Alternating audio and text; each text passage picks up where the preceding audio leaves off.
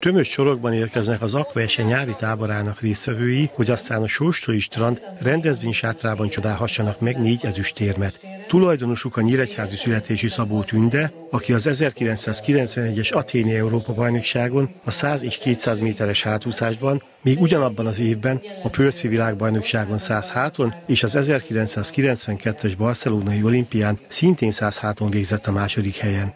Az országgyűlési képviselő fontosnak tartja, hogy legyenek követendő példák a gyerekek előtt. Nagyon sokszor járok gyerekek társaságába, de már közel egy év eltelt, hogy én lehettem ilyen közegbe.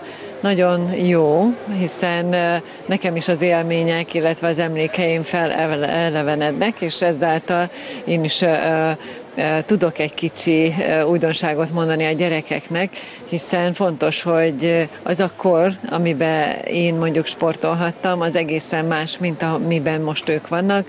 Egyrészt a lehetőségek, a körülmények, és a, a motiváció is. Úgyhogy szeretném átadni nekik azokat a úgymond nem könnyű helyzeteket, hogy akkor is lehetett edzeni, és akkor is lehetett reggel felkelni, és mindig kell valamilyen célnak legyen előttük, amelyet ki szeretnének tűzni maguk elé, és azt gondolom, hogy akik a mai világban sportolnak, azok mind-mind nagyon-nagyon motivált kisgyerekek, és ezt végig tudják vinni a későbbi életük során is, és a, akár hogyha majd felnőttként dolgozni fognak valahol, akkor ugyanolyan tudatossággal tudnak a munkához hozzáállni, mint a sportban. Az Akverse elnöke szerint a fiatalok számára motiváló a sikeres jelenlegi vagy korábbi sportolókkal való találkozás. Az Akva Sport Egyesület 18 éves múltjából az utolsó négy évet már a példaképek közelről programmal folytattuk.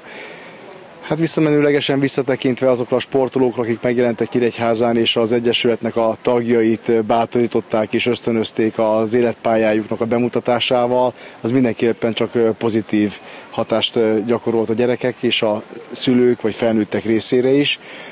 Úgy gondolom, hogy nagyon hasznosak ezek a rendezvények, mert testközelből hallhatják azokat a sportolókat, akár érmüket megfogva is, hogy milyen eredményeket lehet elérni, milyen úton, módon lehet eljutni, és milyen kitartás van mögött. Nem beszélve arról, hogy a tanulásnak is milyen fontos szerepe van a sport mellett, ezt is általában kihangsúlyozzák a példák. A sorozat ősszel folytatódik, a tervek szerint az olimpiai bajnok korcsolyázó Liu testvérek is ellátogatnak majd Nyíregyházára, és már igent mondott a felkérésre a világbajnok vízilabdakapus Nagy Viktor is.